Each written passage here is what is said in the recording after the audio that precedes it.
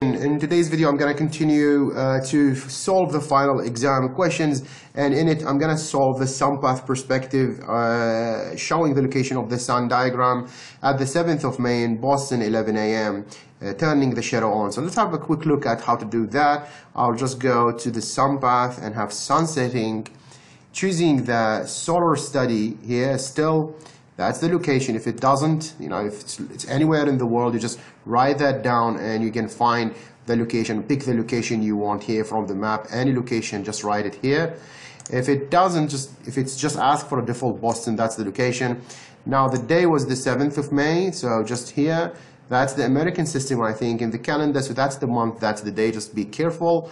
And then it says just 11 a.m. So hit 11 and then here's zero, and then, you know, just uh, make that AM. Hit OK. Now the shadow will, will and the sun setting is, is actually being set to that one. You, you need to pick on, you need to pick here on the shadow on and on shadow off in order to see the shadow at that specific time.